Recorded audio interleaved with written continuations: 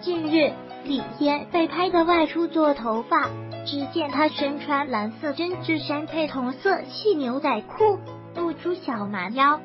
李嫣刚把头发染黄，妈妈王菲就出现在理发店。不过王菲并没有久待，而是跟女儿沟通了下就离开了，只留下李嫣在理发店。